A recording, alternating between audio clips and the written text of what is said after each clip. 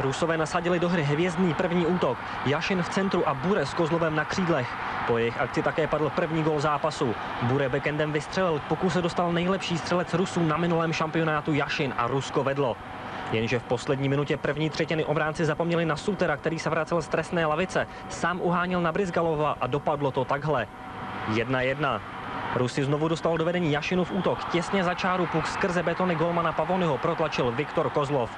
Rusové ale druhou třetinu stejně jako v utkání se spojenými státy nezvládli. Galanov vložil hokejku do střely Konea a na tabuli opět svítily dvě stejné číslice.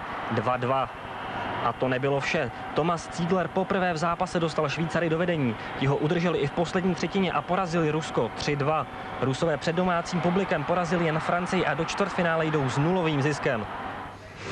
Rusové tedy prohráli po druhé za sebou a kdyby Francie získala odpoledne proti Spojeným státům alespoň bod, hrálo by Rusko senzačně se všemi dostupnými SIS NHL pouze o záchranu nad svém domácím mistrovství světa.